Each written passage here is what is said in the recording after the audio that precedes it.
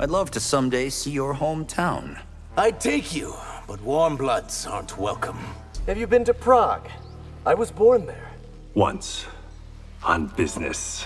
My hometown is a lot like yours. No wonder you got yourself out. Now isn't this better than working in the fields? This life does have its advantages. Do you ever miss Feng Fengjian? I miss home every day. You'll die by your own hand. Some days I wish I'd never left Fengjian. Ever visit your hometown, Tomas? It's nothing to me but bad memories. Where I'm from, princesses aren't taught to kick ass. What a failure of imagination. Your village will be laid waste.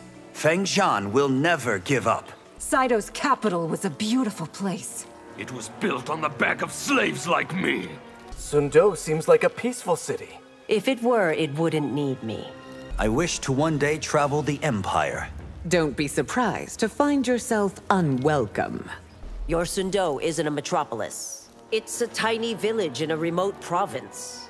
To save the Empress, you must go with me to Necros. The city is no myth? It exists? Why do all Zaterrans live in Zikander? In the past, warm bloods herded us there. Vaeternus isn't the ghastly place you think. Then how did it produce you? Sun Do is a beautiful city. Its facade hides an unseemly underworld. Is Vaeternus as bleak as I'm told? Don't be taken in by slander and lies. Life in Cyto can't be as bad as you say. Must I show you my scars to prove it? Just how big is the Netherrealm?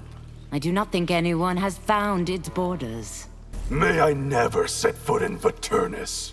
If you did, you'd be eaten alive. Why presume Vaeternus is a hellish place? It must be to have produced you. You've come far from the Netherrealm. I hope to never return. You will aid us in Earthrealm's defense? Whatever's needed to protect my new home. Why did Vaeternians evolve wings? If you'd seen our lands, you'd understand. Are the myths of the Netherrealm real?